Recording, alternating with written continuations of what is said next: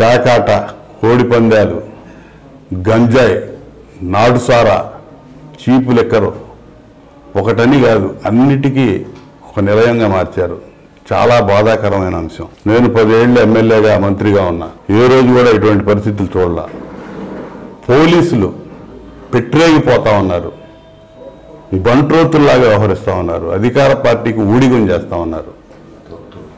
తొత్తులుగా మారిపోయారు. వాళ్ళ మోచేతి కింద నీళ్ళు తాగే వ్యక్తులుగా వ్యవహరిస్తూ ఉన్నారు పోలీసు అధికారులు. చాలా సిగ్గుపోతా ఉంది. నేను ఎస్పీని అడుగుతా ఉన్నా ఇవన్నీ నీకు కనపట్టలేదా? అని. మీ పాత్ర ఏంటని నేను నిలదీస్తా ఉన్నా. జరుగుతున్నటువంటి ఇసుక అక్రమాలు వందల కోట్ల రూపాయలు అవినీతి జరుగుతూ ఉంది. ఇసుక అడ్డగోలుగా దోచేస్తా ఉన్నారు. మీ అందరి పాత్ర ఏంటి? ఎవడెవడ వాటాలేంటి అసలు ఈ జరిగే కార్యకలాపాలు ఏంటి? ఈ ప్రాంతం ఏంటి? ప్రాంతానికి ఉన్న చరిత్ర ఏంటి? నాశనం చేసి వదిలిపెట్టారు. ఇటీవల కాలంలో పూర్తిగా గ్రామాల్లో అసలు గంగాయి అంటే తెలియదు గతంలో. అదేంటో కూడా వినేరగరు ఇవాళ గంజాయి లేని గ్రామం లేదు నాకు తెలిసి. గంజాయి అమ్ముతా ఉన్నారు గంజాయి సేవిస్తూ ఉన్నారు. విచ్చలవిడిగా గంజాయి మొత్తంలో నేరాలు జరుగుతూ ఉన్నాయి. ఇలా చీప్ లిక్కరు.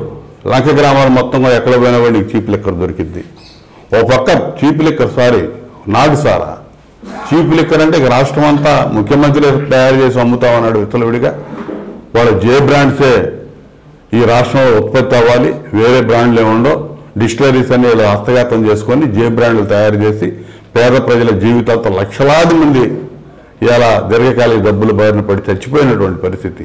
అదే విధానంలో మన నియోజకవర్గంలో కూడా అదే పరిస్థితి నెలకొని ఉంది. ఇలా పోలీసుల అకృత్యాలైతే అసలు చెప్పని అలవి ఏసీబీ రైడ్స్ జరుగుతామని నిన్నటగా నిన్న చుండూరు ఎస్ఐ భరత్ అవినీతి నిరోధక శాఖ వాళ్ళ రైట్స్లో దొరికి ఇప్పుడు అరెస్ట్ అయ్యాడు. ఈరోజు అరెస్ట్ చేసినట్టున్నారు.